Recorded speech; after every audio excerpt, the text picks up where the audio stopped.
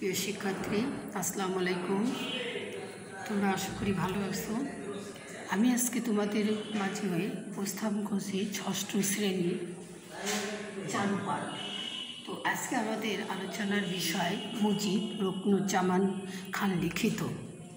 তো প্রথমেই আমি মুজিব কবিতা নিয়ে রুকনুজ্জামান যে কবিতাটা লিখেছেন, আমি প্রথমে তোমাদের আলোচনা করছি লেখক পরিচিতি। তো প্রথমে আমি তোমাদের মাঝে বা কবি পরিচিতিটা আলোচনা করব। সেটা হলো কি রুকনুজ্জামান খান উনিশশো পঁচিশ সালে ফরিদপুর জেলার বাংশা উপজেলায় জন্মগ্রহণ করেন। তিনি দাদাভাই নামে সর্বাধিক পরিচিত ছিলেন। তিনি পেশায় ছিলেন একজন সাংবাদিক এবং উনিশশো ঊনপঞ্চাশ সালে কিছুদিন মোহাম্মদ নাসিরুদ্দিন সম্পাদিত শিশু সওগাতের সঙ্গে তিনি জড়িত ছিলেন। এরপর ঢানায় দৈনিক মুল্লাদ সাপ্তাহিক পূর্বাদেশ, পাকিস্তানি ফিচার সিন্ডিকেট, প্রভৃতি পত্রিকা এবং ফিচার অনুষ্ঠানে তিনি সাংবাদিকতা করেন। তিনি দৈনিক এত্তেফাকের এক মফস্বল সম্পাদক ও শিশু বিভাগ কুচিকাচার আসরের সম্পাদক হিসেবে যোগদান করেন। পরে তিনি এই পত্রিকার সাহিত্য সম্পাদক এবং ফিচার নগ সম্পাদকের দায়িত্ব পালন করেন।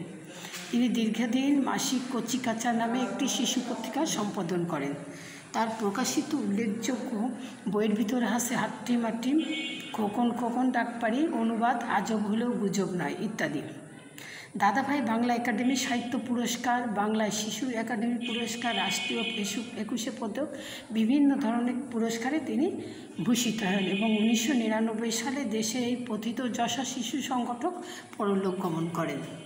তো এবার আমরা আলোচনা করব কবিতাটা। সেটা হলো কি? কবিতাটার পাঠ পরিচিতি মুজিব কবিতায় রুকনুজ্জামান খান, মমতা মাখা ভাষায় আমাদের জীবনের সকল স্তরে বঙ্গবন্ধু শেখ মুজিবুর রহমানের প্রতি মুহূর্ত- মুহূর্তের উপস্থিতির কথা তুলে ধরেছেন। তিনি ছিলেন স্বাধীনতার স্থপতি এবং জাতির পিতা। এই দেশকে ভালোবেসে তিনি সংগ্রাম করেছেন এবং জীবন দিয়েছেন। তার এই ভালোবাসা ও দেশপ্রেমের মূল্য অপরিসীম। বাংলার মানুষ প্রকৃতি, আকাশ, বাতাস সব জায়গাতেই তিনি বিরাজমান। আর এই কথাগুলো তিনি রুকনুজ্জামান খান খুব সুন্দরভাবে পুস্তকে উপস্থাপন করেছে।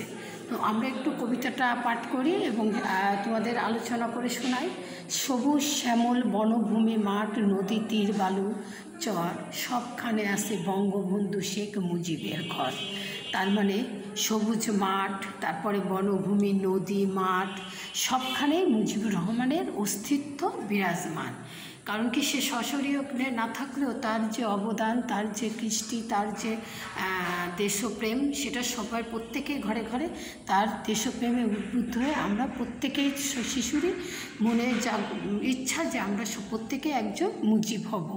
দেশে সোনার দেশের মাঠে মাঠে ফলে সোনা, ধান, রাশি রাশি ফসলের হাসি দেখে মনে হয় ফসলের শেখ মুজিবের হাসি।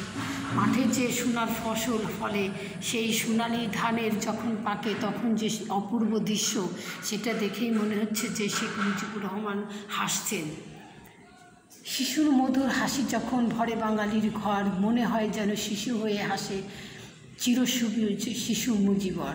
তার মানে এখানে মুজিবুর রহমানকে শিশুদের হাসির সঙ্গে তুলনা করেছেন এবং তাকেও শিশু, ধরা হয়েছে শিশু যেমন কোনো সাবলীনভাবে হাসেন এবং তার মনের ভিতরে কোনো কালিমতা নেই, জড়তা নেই, একদম সুন্দরভাবে হাসে, তেমনি সে হাসি হয়ে ধরা দেন শেখ মুজিবুর রহমান। আমরা বাঙালি যতদিন বেঁচে রইব এই বাংলায়, ততদিন আমরা শেখ মুজিবকে স্মরণ করব এবং তার যে তিনি যে পথ আমাদের দেখিয়ে গেছেন, আমরা সেই পথে চলব। মূলত এই কবিতাটা পাঠের উদ্দেশ্য হলো জাতির পিতা বঙ্গবন্ধু শেখ মুজিবুর রহমানকে ভালোবাসার মাধ্যমে শিক্ষার্থীদের মধ্যে দেশপ্রেম ও মানুষের প্রতি মমতাবোধ জাগিয়ে তোলা। তো আমরা এটা আজকে আলোচনা করলাম এই বিষয়ে শিখলাম। তোমরা এই বিষয়ে আরও শেখ মুজিবের মুজিবুর রহমানের উপরে আরও অনেক পুস্তক লেখা আছে, সেগুলো তোমরা পড়বে এবং এ বিষয়ে আরও অনেক কিছু জানতে পারবে। কারণ আমাদের স্বাধীনতার স্থাপত্যি এই দেশের যে স্বাধীনতা, শেখ মুজিবুর না হলে হয়তো স্বাধীনতা আসতো কিনা সন্দেহ ছিল। তো এই জন্য তোমরা তার বিষয়ে বেশি বেশি পড়বে এবং তার বিষয়ে অনেক কিছু জানতে পারবে। আজকে পর্যন্ত, আল্লাহ